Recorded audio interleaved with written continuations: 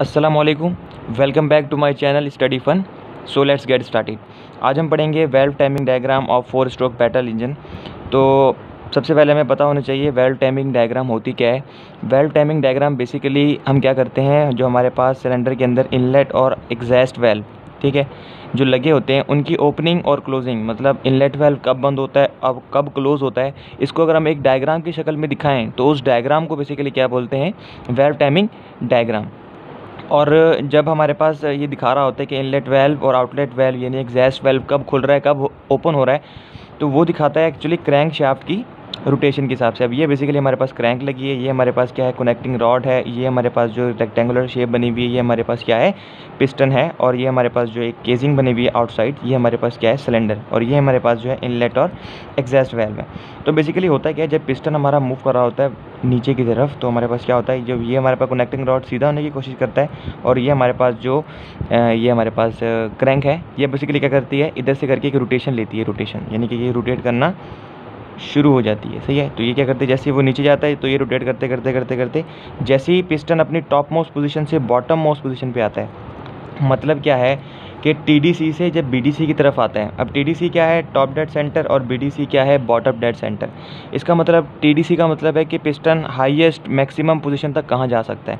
और बीडीसी का मतलब है बॉटम डेड सेंटर मतलब पिस्टन जो है अपनी लोवेस्ट पोजीशन तक मैक्सिमम कहाँ तक जा सकता है? तो जब पिस्टन ऊपर से नीचे की तरफ़ मूव करता है तो क्या होता है हमारे पास? जो ये हमारे पास क्रैंक शाफ्ट ये क्रैंक और हमारे पास जो हमारे पास क्या है, ये कनेक्टिंग रॉड या क्रैंक शाफ्ट बोल रहे हैं इसे क्रैंक शाफ्ट और कनेक्टिंग रॉड बेसिकली क्या होता है, उन दोनों के दरमियान 180 डिग्री का एंगल बनता है। और इसी तरह जब पिस्टन हमारा बीडीसी से टीडीसी की तरफ़ जाता है तो हमारे पास दोबारा क्रैंक शाफ्ट क्या करना शुरू होती है मूव करना शुरू हो जाती है। जब ये मूव करती है हमारे पास ये क्रैंक शाफ्ट तो होता क्या हमारे पास तो ये फॉर एग्जांपल अब देखिए कनेक्टिंग रॉड है और ये हमारे पास जो ऊपर हमारे पास थी क्या क्रैंक शाफ्ट वो क्या करती है, जैसे हमारा पिस्टन ऊपर की तरफ़ गया तो हमारे पास क्या हुआ, ये रोटेट करना शुरू हो गई। और इसने बेसिकली क्या किया 180 डिग्री का एंगल कवर किया। मतलब आप समझने की बात यह है कि जब टीडीसी से पिस्टन बीडीसी की तरफ़ आता है और बीडीसी से टीडीसी की तरफ़ आता है तो क्रैंक शाफ्ट और कनेक्टिंग रॉड में क्या होता है 180 डिग्री का एक एंगल आ जाता है। सही है? अच्छा अब इसमें आपको पता है, इसमें चार स्ट्रोक होते हैं। कि पहला कौन सा होता है? सक्शन स्ट्रोक ठीक है जी सक्शन स्ट्रोक होता है। दूसरा हमारे पास होता है कंप्रेशन स्ट्रोक उसके बाद हमारे पास जो तीसरा होता है, वो कौन सा होता है? एक्सपेंशन स्ट्रोक ठीक है? और जो हमारे पास जो फोर्थ वन होता है, इसे हम वर्किंग स्ट्रोक भी बोलते हैं बाय द वे अच्छा उसके बाद हमारे पास जो है फोर्थ होता है, वो हमारे पास होता है एग्जास्ट स्ट्रोक ठीक है? एग्जॉस्ट स्ट्रोक होता है। अब इसमें वर्किंग क्या होती है? जैसे हमारा पिस्टन टीडीसी से बीडीसी की तरफ़ जाता है, यानी जैसे वो टीडीसी पे होता है, हमारा जो ये इनलेट वेल्व है, ये ओपन हो जाता है, और यहाँ से जो भी फ्यूल वगैरह है, वो क्या होता है? आना शुरू हो जाता है। और जैसे हमारे पास फ्यूल आता है तो क्या होता है? सक्शन स्ट्रोक शुरू हो जाता है और ये नीचे आता रहता आता रहता है और हमारे पास फ्यूल भी इनटेक होता रहता है। और जैसे ये बीडीसी पे आता है तो हमारे पास क्या होता है, सक्शन ख़त्म हो जाती है और जो इनलेट वेल्व है, वो क्या हो जाता है, बंद हो जाता है। अब इसके बाद हमारे पास आता है कंप्रेशन स्ट्रोक कंप्रेशन स्ट्रोक में क्या होता है, जब पिस्टन बी से टीडीसी की तरफ़ जाता है मतलब जैसे बीडीसी पे गया इनलेट वेल्व क्लोज हो गया, अब हमारे पास कहाँ जा रहा है? बीडीसी से टीडीसी की तरफ़। तो ये वाला जो स्ट्रोक हो रहा है, वो हो रहा है कंप्रेशन स्ट्रोक जो मैस या फ्यूल इसके अंदर आ गया, वो कंप्रेस होना शुरू हो गया। जैसे पिस्टन ऊपर ऊपर ऊपर जाता है, जैसे टीडीसी पे आता है, हमारे पास अगर पेट्रोल इंजन है तो इधर हमारे पास क्या लगा होता है? स्पार्क लगा होता है, जो कि क्या करता है? स्पार्क देता है। स्पार्क से क्या होता है? हमारे पास कंबस्चन प्रोसेस होता है, जिससे हमारे पास क्या होती है? गैसेज जो है एक्सपैंड होती हैं, और फिर एक्सपेंशन स्ट्रोक शुरू हो जाता है। तो हमारे पास टीडीसी पे गया तो स्पार्क प्लग यानी स्पार्क शुरू हुई कंबस्चन शुरू हुई, और जब जैसे ही कम्बस्टन शुरू हुई और कम्बस्टन प्रोडक्ट जलने से फैलती हैं तो वो क्या होता है पिस्टन टीडीसी से बीडीसी की तरफ़ जाता है। तो वो हमारे पास कौन सा स्ट्रोक होता है? एक्सपेंशन स्ट्रोक जैसे एक्सपेंशन स्ट्रोक के एंड में जाता है तो हमारे पास बीडीसी पे क्या होता है?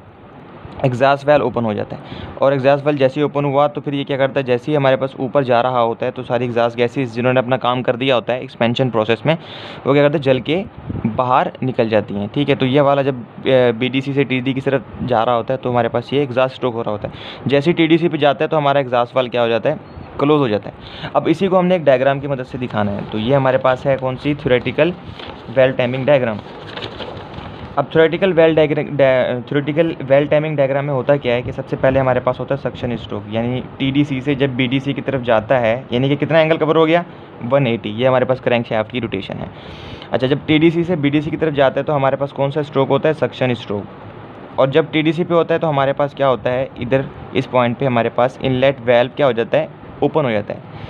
यानी इसको मैं लिख रहा हूँ आई वी ओ मतलब इनलेट वेल्व ओपन हमारा जो इनलेट वेल्व हो गया, वो ओपन हो गया और हमारे पास क्या है? पिस्टन अगर हम इधर देखें तो टीडीसी पे पिस्टन है, जैसी पिस्टन क्या है? टीडीसी पे जैसी टीडीसी पे है तो हमारे पास क्या हुआ? इनलेट वेल क्लोज हो ओपन हो गया। हमारे पास क्या हुआ? फ्यूल की एंट्री शुरू हो गई। तो यहाँ भी हमने वही शो कराया कि इनलेट वेल हमारे पास ओपन हो गया फ्यूल की एंट्री शुरू हो गई और जैसी जैसी पिस्टन हमारे पास बीडीसी पे पहुँचा तो हमारे पास क्या हो गया? इनलेट वेल क्लोज हो गया, यानी सक्शन प्रोसेस कंप्लीट हो गया सक्शन स्ट्रोक कंप्लीट हो गया। उसके बाद हमारे पास जो नेक्स्ट प्रोसेस आता है, वो होता है कंप्रेशन स्ट्रोक कंप्रेशन स्ट्रोक में बेसिकली क्या होता है? कि जो हमारा पिस्टन है, वो क्या करता है? बीडीसी से टीडीसी की तरफ़ जा रहा होता है। और इसमें हमारे पास क्या होता है? दोनों वेल क्लोज ही होते हैं। और जैसे ही ये टीडीसी पे पहुँचता है तो हमारे पास क्या होता है? स्पार्क की इग्निशन शुरू हो जाती है। तो यही हमने इधर शो कराना है कि जब पिस्टन बीडीसी से टीडीसी की तरफ़ जा रहा है तो हमारे पास कंप्रेशन स्ट्रोक पूरा है। ये सारा यहाँ से लेकर यहाँ तक ये सारा हमारे पास कंप्रेशन स्ट्रोक है। और एट द एंड जैसे वो टीडीसी पे गया तो हमारे पास क्या हुआ? इग्निशन स्टार्ट हो गई। ठीक है? इग्निशन मतलब फ्यूल जलना शुरू हो गया। अब जलने के बाद हमारे पास कौन सा प्रोसेस शुरू हो गया? एक्सपेंशन प्रोसेस कौन सा प्रोसेस एक्सपेंशन स्ट्रोक कह लो आप। एक्सपेंशन स्ट्रोक शुरू हो गया। अब जैसे पिस्टन टीडीसी से बीडीसी की तरफ़ जा रहा होता है तो हमारे पास कौन सा होता है? एक्सपेंशन स्ट्रोक हो रहा होता है। यानी कि इधर हमारे पास जब टीडीसी से बीडीसी की तरफ़ जा रहा होता है, जा रहा होता है तो हमारे पास कौन सा स्ट्रोक होता है? एक्सपेंशन स्ट्रोक और जैसे एक्सपेंशन स्ट्रोक के एंड में आता है मतलब कहाँ बी पे आता है तो हमारे पास क्या होता है? एग्जैस्ट वेल क्या हो जाता है? ओपन हो जाता है। तो जैसे हमारे पास क्या एक्सपेंशन स्ट्रोक इधर से जा रहा है, जैसे एक्सपेंशन स्ट्रोक का एंड हुआ तो उसके एंड पे ही हमारे पास क्या हो गया? एग्जास्ट वेल ओपन हो गया ताकि हमारे पास क्या हो? बी टी सी पे आया एग्जास्ट वेल ओपन हो गया ताकि हमारे पास जब ये ऊपर जाए तो एग्जास्ट वैस एग्जास्ट गैसेज को बाहर निकाल दे, ठीक है? तो हमारे पास क्या हो गया? यहाँ हमारे पास एग्जास्ट वेल ओपन हो गया। जैसे ये ऊपर जाएगा हमारे पास तो क्या होगा? यानी कि जब एग्जास्ट वेल ओपन हो गया, उसके एग्जास्ट वेल ओपन शुरू होने से हमारे पास क्या हो गया? एग्जास्ट स्ट्रोक शुरू हो गया। अब ये हमारे पास है एग्जास्ट स्ट्रोक यहाँ से लेकर यहाँ तक। अब जैसे एग्जास्ट स्ट्रोक यहाँ तक शुरू है, यहाँ एग्जास्ट गैसेज हमारी जो जली हुई गैसेज बाहर निकल रही हैं और एट द एंड हमारे पास क्या होगा? जब पिस्टन का होगा टी डी सी पे पहुँचेगा तो ये हमारे पास एग्जास्ट वेल्व क्लोज हो जाएगा। तो हमने इधर क्या लिख दिया? ई वी सी ठीक है? तो ये हमारे पास क्या हो गया? एग्जैस्ट वेल्व क्लोज तो ये तो हमारे पास हो गई थ्योरेटिकल डायग्राम ठीक है? अब हम देखते हैं कि प्रैक्टिकली क्या हो रहा होता है, जो हमारी ऑटोमोबाइल या मोटरसाइकिल ऑपरेट कर रही होती है, उसमें ऐसा नहीं होता। उसमें हमारे पास क्या होता है? वेल टाइमिंग डायग्राम में कुछ फ़र्क आ जाता है। फ़र्क क्या आता है कि इसमें जो हमारे पास एक्चुअल साइकिल होती है, अगर हम इधर से देखें इधर, ये एक्चुअल साइकिल है, ये एक्चुअल वेल टाइमिंग डायग्राम है, जिसमें हमारे पास क्या होता है कि अर्ली ओपनिंग अर्ली ये आप याद रखना, ये एक फुल कॉन्सेप्ट है इसका और लेटर क्लोजिंग अर्ली ओपनिंग और लेटर क्लोजिंग मतलब क्या है कि जो हमारे पास इनलेट वेल्व या एग्जैस वेल्व कोई भी ओपन होगा तो वो होगा जल्दी ओपन यानी कि जितना वो थियोरेटिकल डायग्राम में हो रहा है ना, उससे पहले ही ओपन हो जाएगा.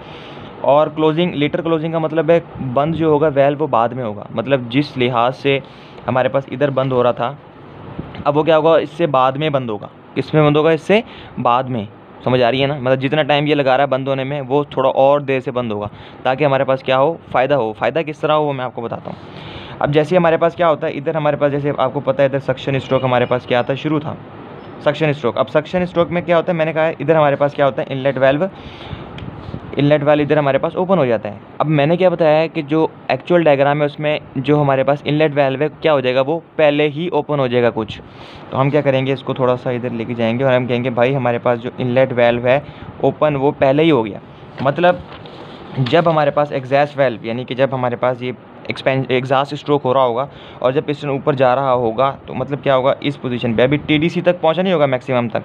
तो उससे कुछ थोड़ा पहले ही मतलब फॉर एग्जांपल पिस्टन यहाँ आया, अभी टीडीसी पे पहुँचा नहीं है तो क्या होगा, हमारे पास इनलेट वेल भी ओपन हो जाएगा साथ, ताकि हमारे पास क्या हो इनलेट ज़्यादा हो। हमारे पास क्योंकि जब प्रैक्टिकली हमारे पास गाड़ी चल रही होती है, ज़्यादा स्पीड होती है तो इनलेट वेल को ओपनिंग और क्लोजिंग में इतना फ्यूल इंटर नहीं हो पाता।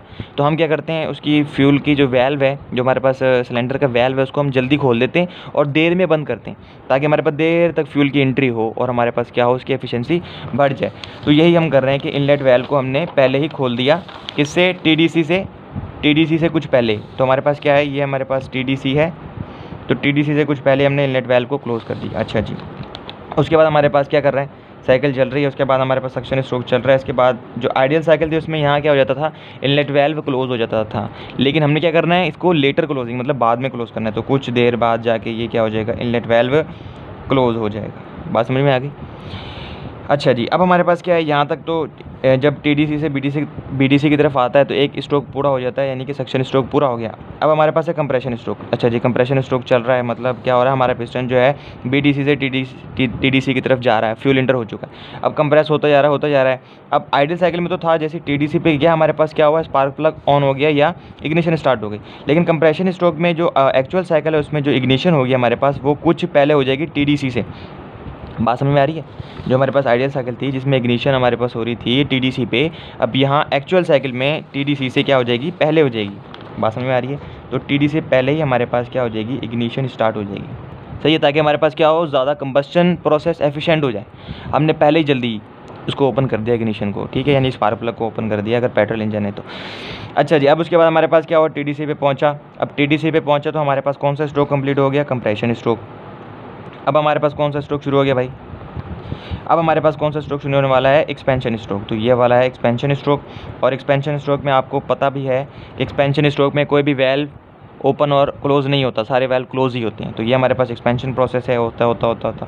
लेकिन हमने कहा है कि जब आइडियल साइकिल होती है एक्सपेंशन स्ट्रोक के एंड में हमारे पास क्या होता है? एग्जॉस्ट वाल्व ओपन हो जाता है। लेकिन इसमें हमने क्या करना है? क्योंकि ये एक्चुअल साइकिल है, उसमें हमने एग्जैस वेल्व को थोड़ा सा बीडीसी से पहले ही क्या कर देना है? ओपन कर देना है।